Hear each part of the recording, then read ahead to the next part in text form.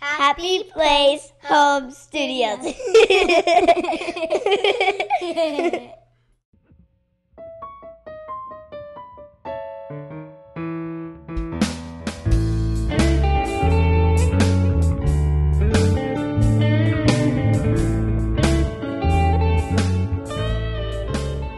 You know, I have a lot of awesome pieces of gear in my studio that I've collected over the last 25 years.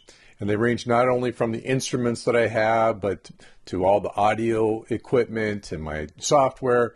But I'll tell you what, there's one piece of gear that is absolutely far and above my favorite. And that is my Line 6 Helix, the guitar processor that is just an amazing, amazing piece of equipment. Welcome to Happy Place Home Studios series on the Line 6 Helix. And this is part one where I'm going to cover the basics. Now, I want to tell you right up front that the Helix has been covered by literally dozens, probably hundreds of videos on YouTube. And many of them are created by people who are expert, expert professional guitar players and musicians and people who are expert at every type of processing that the Helix does, from uh, effects to everything else that we're going to talk about that, that the Helix will do. So you'll find no lack of great content out there. So what's going to make this series a little bit different is where I'm coming from and perhaps what the audience is. I am not an expert guitar player. Uh, I'm a home studio aficionado. Uh, I you know, love recording, playing. Uh, every once in a while, have the opportunity to work with some talented musicians, and definitely a home studio effort. So that's where I'm coming from. The audience that I think will benefit from this series will be people who are new with the Helix or perhaps considering the Helix, want to know what it does and how it does it, or perhaps you just bought one and, and want to have a good way to get started and get beyond just the things that, that you can do yourself by turning the Helix on. So I'm going to have some fun with this uh, because I just love this piece of equipment. I just think it's an amazing architecture and technology. As a technologist myself, who spent uh, many years in, in technology, I really love the way they put this together. It's architected well, it's extensible, which means they can add capabilities to it, and they do that frequently with their updates. It's a fun piece of gear to use. You know, probably like many of you, I spent uh, many years, you know, collecting amplifiers and effect pedals and that type of thing, trying to have the flexibility to get the sound that I wanted um, out of my guitar to be able to re- faithfully reproduce the sound that I liked from uh, a band or, or an artist. Well, with the Helix, I truly feel I could re- reproduce any sound. And if I don't know how to do it, there are many resources out there that will teach me how to do it or show me how to do it, or a preset that I could buy directly from the Line 6 marketplace that allows me to get the sound that I want. Now, my needs are not that extensive when it comes to that kind of thing, uh, but for many people, that's uh, one of the main things they want is to be able to create the sound that they want. But this uh, platform, and that's what the Helix really is. It's a platform. Allows you to experiment and create your own sounds and create something new that's not been heard before. Uh, it's truly, truly a terrific tool for your studio. Whether you just simply want to be able to sit down and play and get the sound you want for, for your own purposes, or you're looking for something uh, more extensive for recording and live performance. That's one of the amazing things about the Line 6 Helix is how many different ways it's used out there. And because the Helix has become a, a, a family of products that, that cover a lot of territory, there's people out there using it for everything from live, perf- live performance to in studio recording uh, to the simple uh, things that I use it for here personally in my own studio.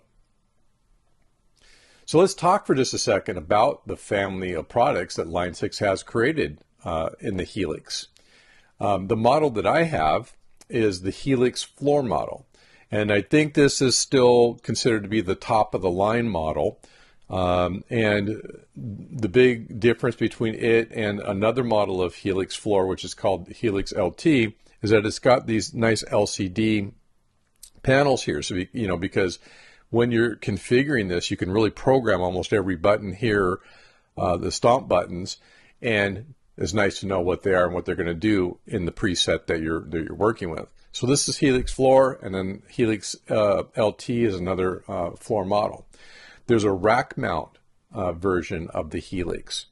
There are a couple of specialty models that just handle um, the effects. For example, HX Effects is a specialty uh, model of this. And the, the product line keeps going, and we're going to cover that more extensively here as we get going on this basic introduction. You know, when you get the Helix, uh, it, it's not difficult to, to start with it. It's really very, very easy. And we'll, we'll cover that easy startup that you can do and, and, and be playing immediately. But there's a lot that this does. And one of the things I admire about it is for what it does, it is easy to use, but it does so much that it, ha- it has that little bit of a, of a learning curve, a little bit of complexity. And it's very, very deep. You can really get deep with this thing. And some of its uh, capabilities, such as the ability to, to buy from a huge library of impulse response units out there, don't worry, I'll explain what that means, uh, makes it even more deep. And uh, it's a MIDI device, uh, so you literally can can use uh, multiple different MIDI controllers and DAW software to have a sequence as you go through a song and, and use all kinds of different presets and all kinds of different settings and change them in real time through MIDI. So again, there's just this tremendous depth in this device and this product. I really love it. I've recommended it to many friends, uh, and uh, some of them have actually even taken that recommendation and purchased it, and they love it. So I really uh, have no problem talking about the Helix as something that might be a great collection uh, or a great addition to your collection in your studio. And I'm looking forward to showing you more and giving you the tour of the Helix. In this series, I, I plan many uh, chapters here. And, in fact, I've already produced chapter five, how to update the Helix, because I had to update the Helix, my Helix. Uh, they come out with major updates about once a year. So I've already produced chapter five. Now I'm, I'm going through and producing the other chapters. So there will probably be five, six, seven uh, videos in this series.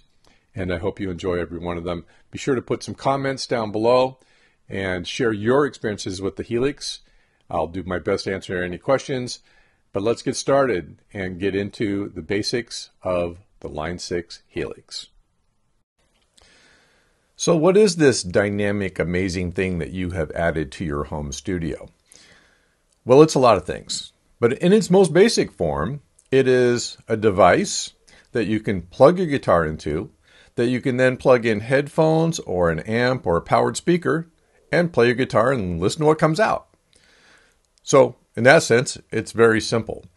And one thing you'll find about the Helix is that for doing simple things, it is simple to operate. But it can do a lot of things. And so with that power comes a little more of a learning curve, as I've mentioned before. But let's talk about what the Helix actually is. Now, Line 6 defines it as a guitar processor, but I had trouble finding a really good definition for what is a good guitar processor. Well, I, I kind of extend it to say it's a guitar signal processor. The Helix takes the signal from your guitar and can do almost anything with it.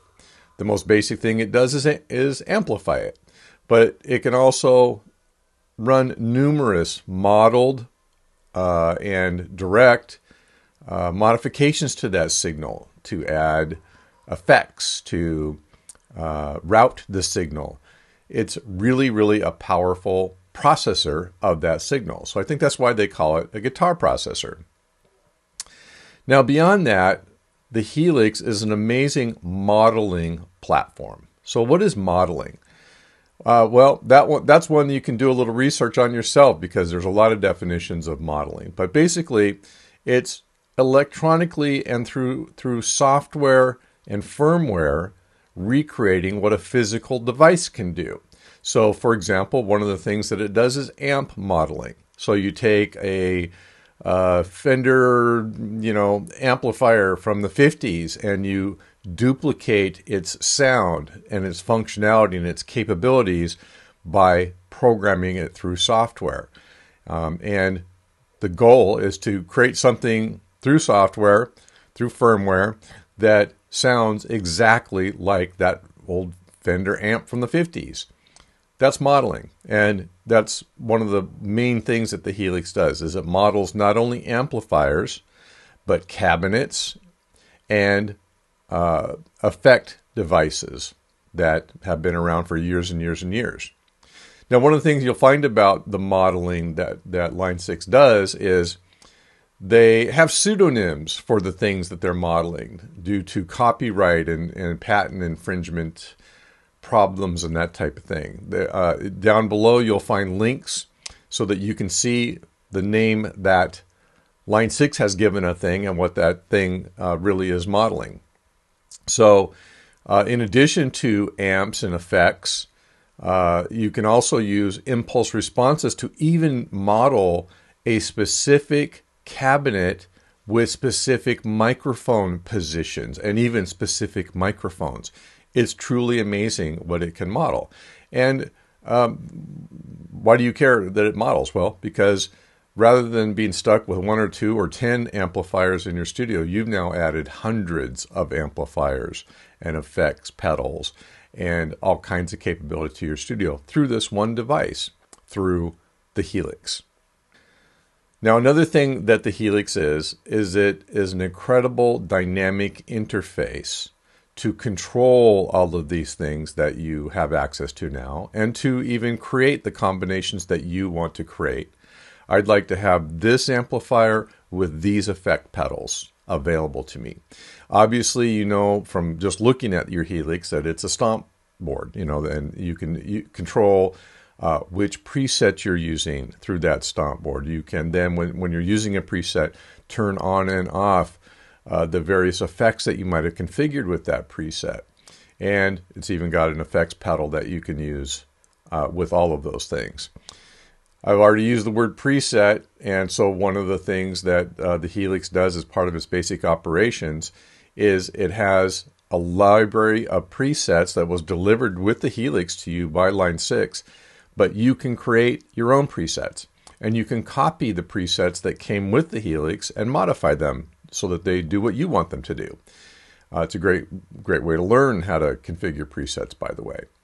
So it is a very, it provides, the Helix provides a very dynamic interface for really controlling all of the things that we've just talked about. And you can control it at a very high level, but you can also really get in and geek out on the minutia that you can control of each effect, of each amp, of each cabinet, um, and how they all interact.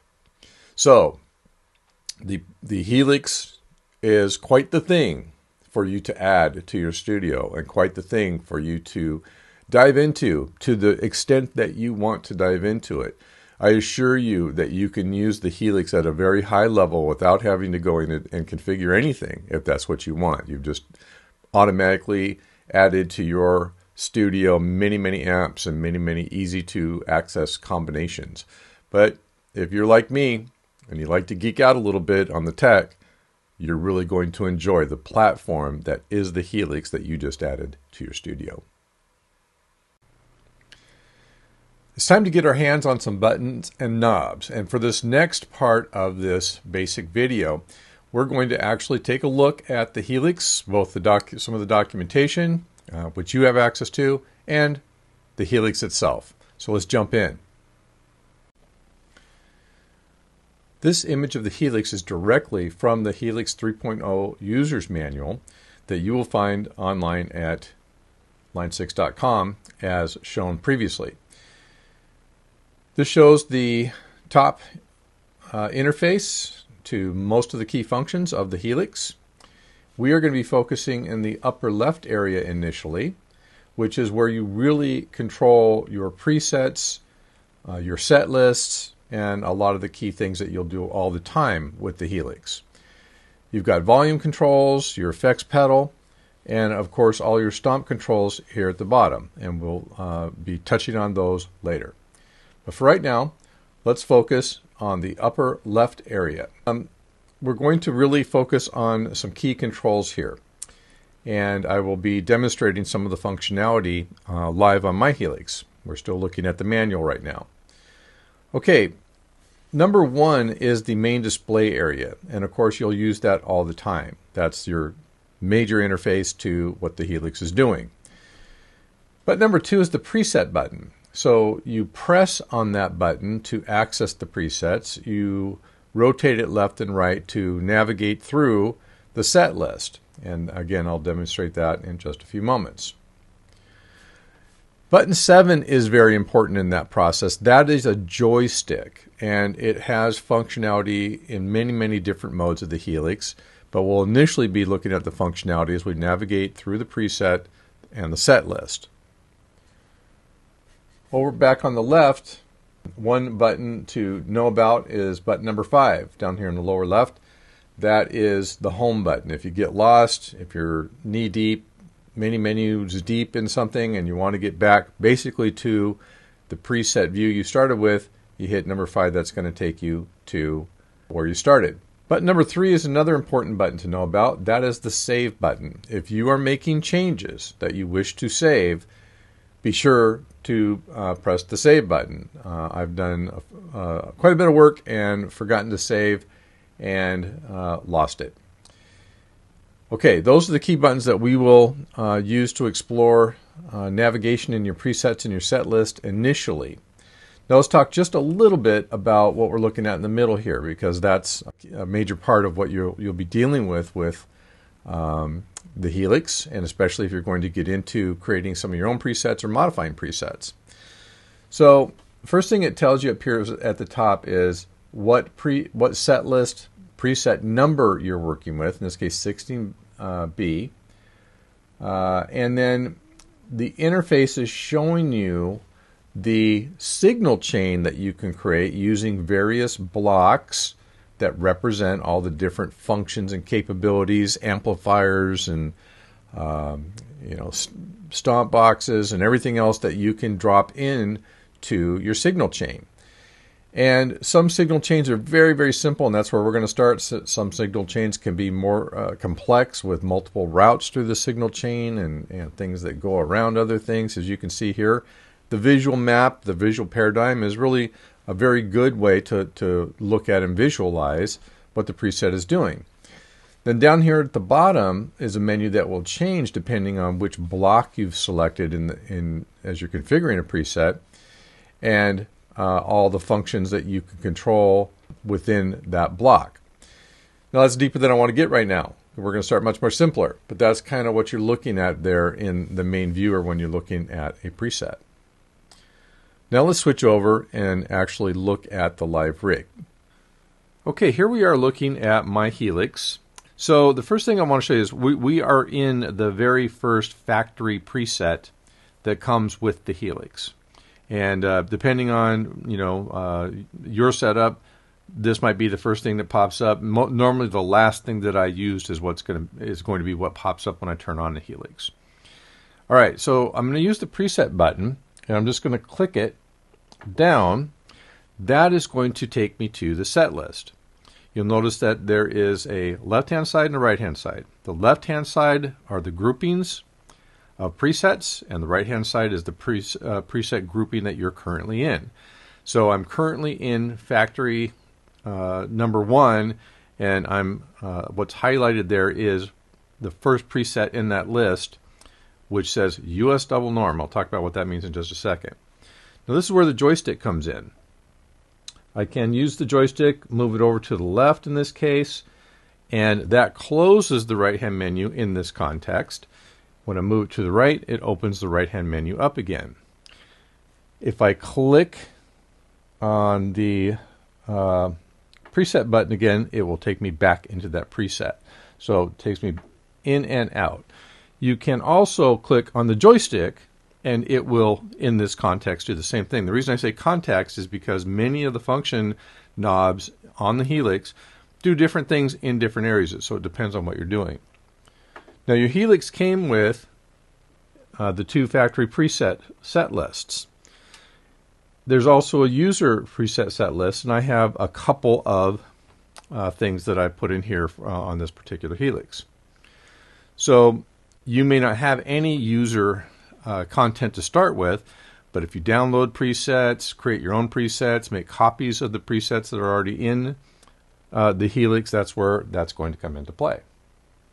Now, this is a little beyond where we are right now, but just a brief discussion of how things work within the preset and within uh, the context of creating or modifying a preset. The joystick will move you back and forth between the blocks in the signal chain. Now, this is a pretty straightforward signal chain. Uh, the amp and other effects, and you'll learn over time that there is a rhyme and reason to the symbology. So the amp, which of course is the US double norm, um, is represented by the, the block that looks like an amplifier. And at the bottom of the screen, when you selected a given block, which you do just by moving to it, by navigating to it, you'll see the parameters that can be modified with the buttons down here uh, below. And you can also, there may be multiple banks of buttons, so you can navigate to the additional banks of buttons as well. Now, if I want to take a look at how did, you know, how was this amp selected, I can just press down on the joystick. That actually takes me to the amp list, and you can see what's selected just by looking at the arrows over on the right, or on the left, I should say.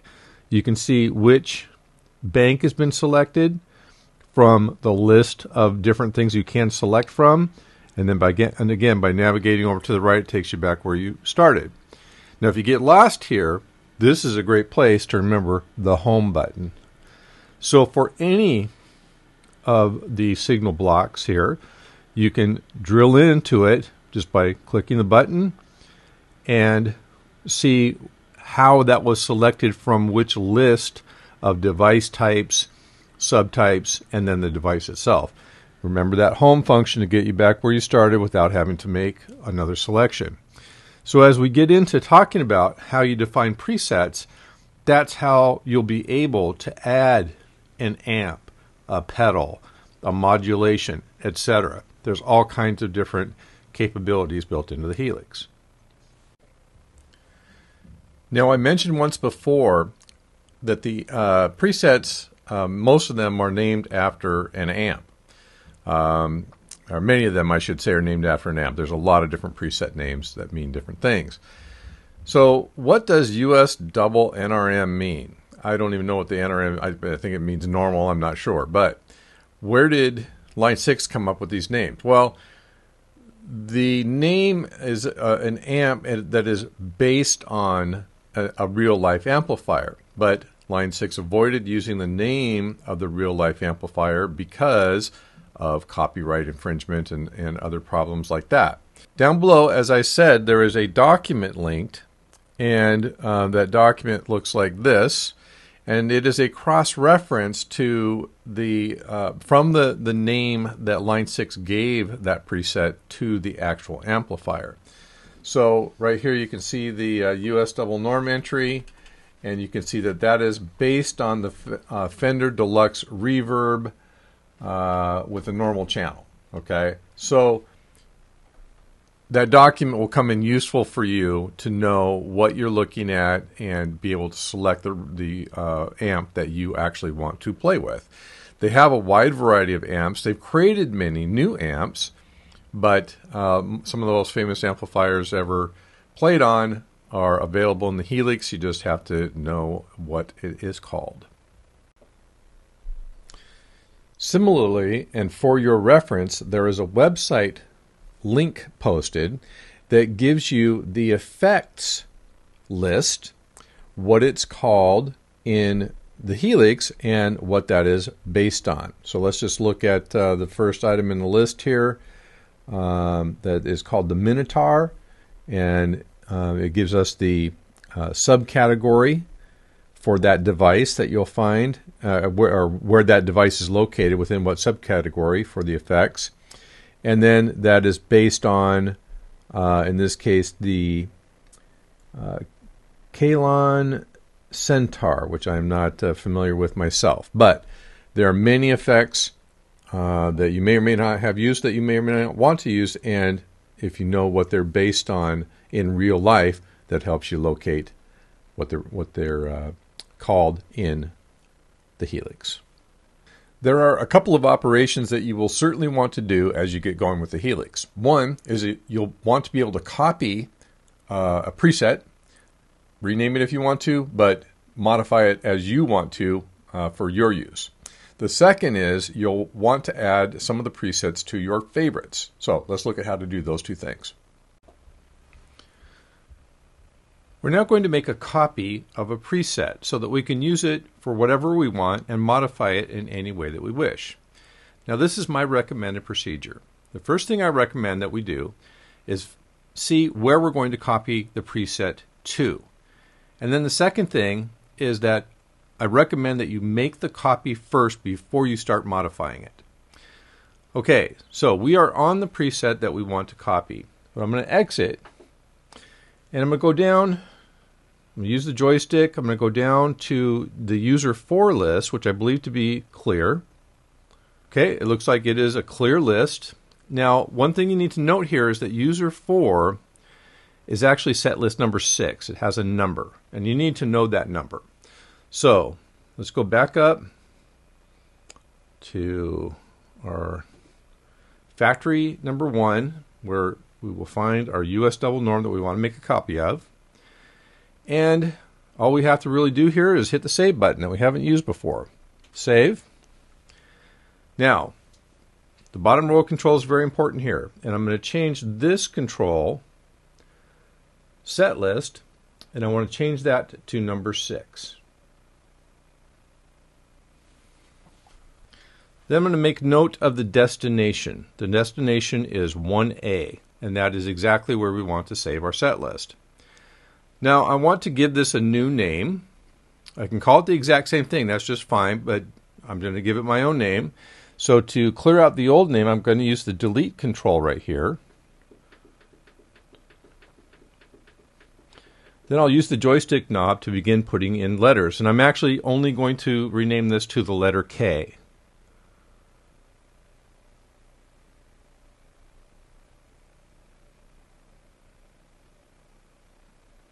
Okay, we've got that in. Now all I have to do is hit the save button right here. Okay, I now have a copy of US double norm that is called K. It is in the user four set list and we can see it at the top of that list right there. And that's how easy it is to make a copy of a template. Now we can begin to modify K as much as we want, change anything we want about it without any problem with the original preset that it was named from. Later on, you'll discover a feature of the Helix called Favorites, and it is used to save your favorite amps, effects, etc. for use in different presets. There's no real way to save a full preset as a favorite. However, you have four different user lists, and an easy solution is to rename them one of them to be favorites. So to do that is very simple we're going to simply point to the list that you want to be your favorites list and then use the function shown to rename the list. And then just as before, you'll want to get rid of the name that's already there and replace it by putting in the word favorites or whatever you want to call your favorites list. When you've got your label the way you want it, go ahead and click OK. And now you have a favorites list and can easily copy any of your presets to that list. It's time to physically connect our guitar. So after a quick look at the manual, taking a look at the connections capability on the back of the Helix, we'll go ahead and connect one of my guitars to the Helix.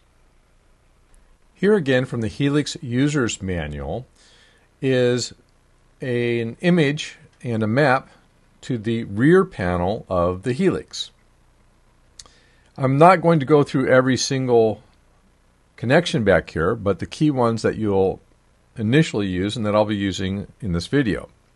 On the right hand side, you'll see your power switch, your power connection. You'll also see the USB 2.0 connector uh, that you need to do updates and other things that you can do to support the Helix, be sure to save that cable because of the USB 2 connector. Over on the left hand side, as we face the back of the Helix unit, number 20 is your guitar input, and that's what I'll be using to put, uh, plug my guitar in here in just a moment. And then uh, number 25 is the XLR outputs for the Helix, and I'll be using the left or mono in the video uh, presentation that I'll, I'll be uh, showing you shortly here on how to connect your Helix.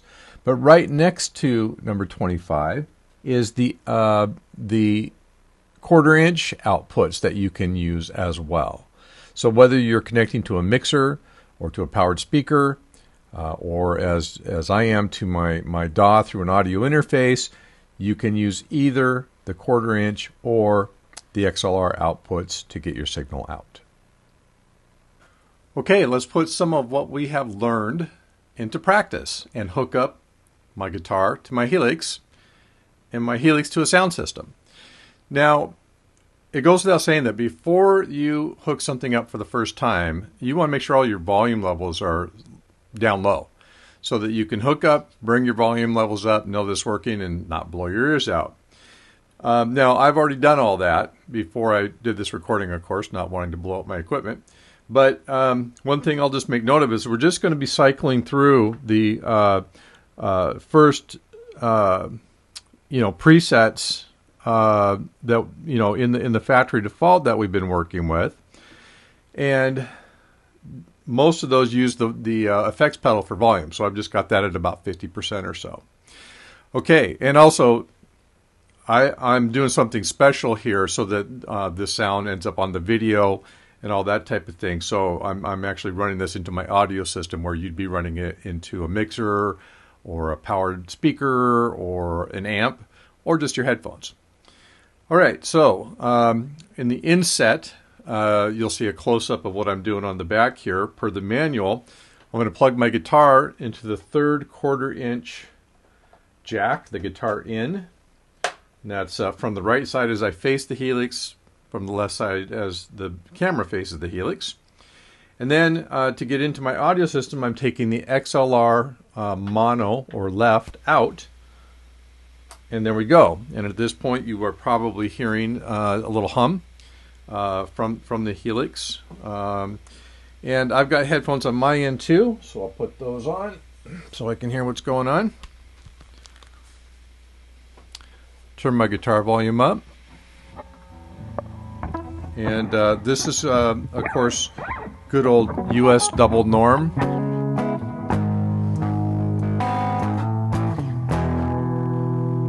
So we'll just cycle through some of the settings here. Uh, that one's got a little more noise on it. You'll notice that with the with the Helix presets that they've uh, all got their own noise levels.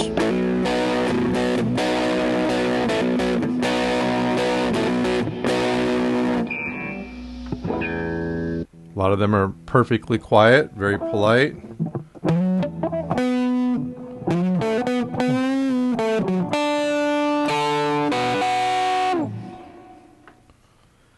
And it's fun just to go through and, and listen to these for the first time.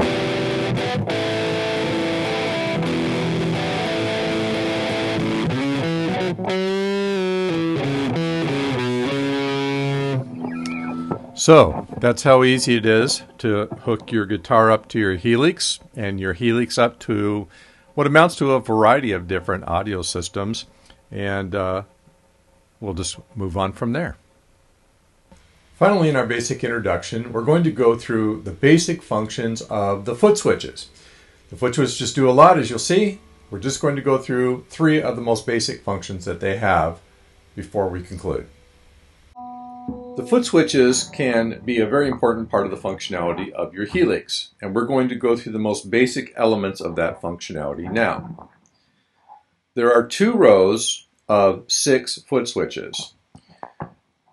Usually, the leftmost of the foot switches is used for bank navigation. the rightmost of both rows of the foot switches have a specific function. And I'll show you one of those functions right now. It is the tuner.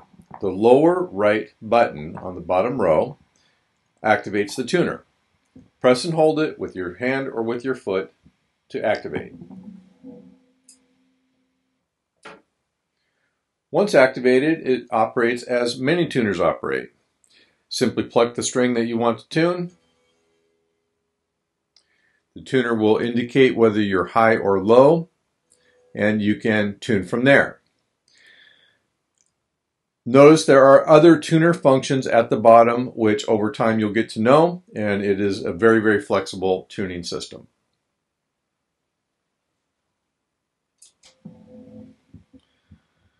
The second mode of operation is what I call preset mode. Each preset can be programmed with one, or more functions that you can activate and uh, turn on and turn off with the foot switches.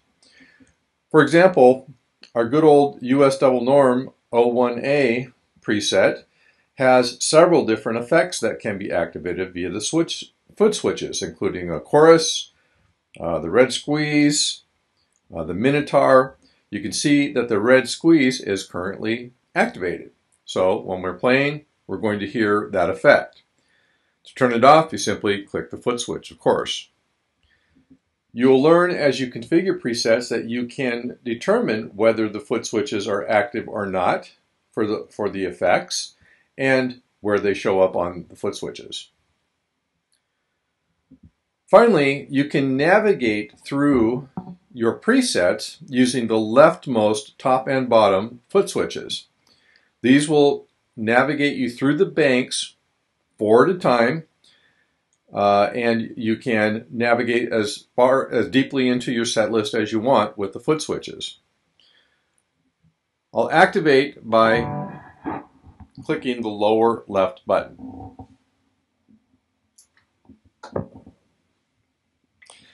Notice that the middle four of each row is currently blinking and showing the name and, and designation of presets. So the lowest row right now shows, beginning with 01A, the US double norm preset, and that we could navigate through the set list by clicking the up list from there. So if I want to go to 02A, I simply click it. That pulls up that preset, and that is, that is now the preset that I'm using. If I want to go back to 01A, I can simply click the button again, and then click the flashing O1A. This is a very convenient way to navigate through your presets. And you can imagine that if you set up one of your user set lists with an evening's entertainment uh, and the, the presets that you want to use, it'd be very, very easy for you to navigate through them during live performance. Now the foot switches have many, many other functions and are really a powerful part of the programmability of the Helix, and you'll get to know that over time. But this is a basic introduction to these functions, and this is the most basic functions of the foot switches. Thanks for joining us for this part one of our series on the Line 6 Helix. I'm looking forward to putting together a good series for you. Please join us for the following chapters. See you next time.